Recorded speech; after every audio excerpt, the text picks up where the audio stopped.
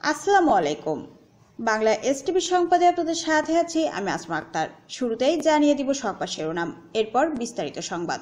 দুমকিতে দোকান ভাঙচুর ও মালামাল লুটের প্রতিবাদে ব্যবসায়ীদের মানববন্ধন। পটুয়াখালী প্রতিনিধি মোহাম্মদ জাহিদুল ইসলামের পাঠানো তথ্যচিত্র এখন বিস্তারিত।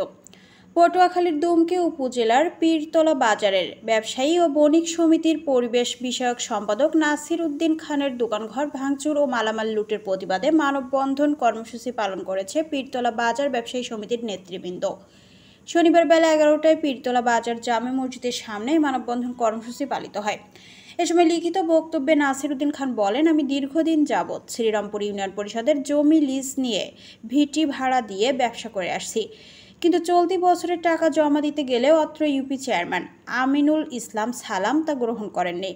হঠাৎ গত শুক্রবার সন্ধ্যার সময় অভিযুক্ত শহীদুল ইসলাম তার দলবল নিয়ে আমার অনুপস্থিতিতে দোকানঘর ভাঙচুর ও মালামাল লুট করে।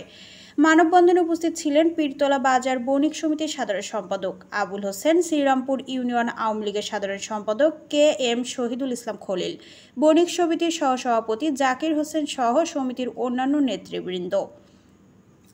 এ বিষয়ে অভিযুক্ত শহীদুল ইসলাম অভিযোগ অস্বীকার করেন। তিনি জানান, দুমকি উপজেলা নির্বাহী কর্মকর্তা আল ইমরান, উপজেলা আওয়ামী লীগের সভাপতি আবুল কালাম আজাদ ও শ্রীরামপুর ইউপি চেয়ারম্যান আমিনুল ইসলাম সালাম সাহেবের মধ্যস্থতা ও অনুমতি নিয়ে এবং নাসির উদ্দিনের স্বীকারোক্তি অনুযায়ী চলার জন্য তিন ফুট পথের ব্যবস্থা করা হয়েছে। দুমকি উপজেলা নির্বাহী কর্মকর্তা আল ইমরান বলেন, এ ব্যাপারে উপজেলা আওয়ামী লীগের সভাপতি শ্রীরামপুর ইউপি চেয়ারম্যান ও দুমকি থানা ভারপ্রাপ্ত কর্মকর্তার মধ্যস্থতায় ও সংশ্লিষ্ট নাসির উদ্দিন খানের উপস্থিতিতে মানবিক কারণে শহীদুল ইসলামকে চলার জন্য তিন ফুট পথের ব্যবস্থার সিদ্ধান্ত হয়েছে।